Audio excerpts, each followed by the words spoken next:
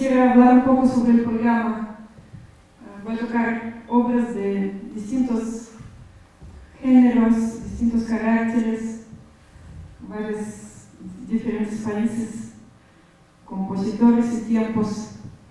Empecé con una pieza de Bach, se llama Tocata.